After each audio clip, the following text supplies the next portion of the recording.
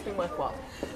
Leaders of the black community invited the immigration minister to a small community centre in Southampton, a modest venue, but a very important meeting. The immigration minister and a team of Home Office officials are speaking to about 30 people concerned about their immigration status.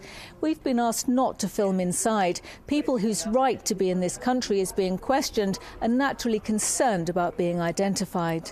It really mattered to me when Don John reached out and contacted me and said, There is a significant Caribbean community in Southampton who need your help, Minister. I think what matters is that we give people the opportunity to talk to Home Office officials, whether it's via the hotline or in person like today. But we reach out, we take those steps. I am absolutely prepared to do what it takes to put this right. I mean, there are many sort of uh, difficulties uh, in going through this process the whole business about the hostile environment makes them very distrustful of government and uh, local authorities. People are embarrassed about this sort of situation and they are not really going to be open about it. We didn't just turn up in England, we were invited to. And when I came here in 1970, a young person just graduated from school.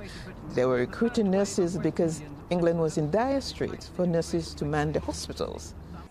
Home Office officials promised members of the so called Windrush generation here today that they were safe, not at risk of arrest.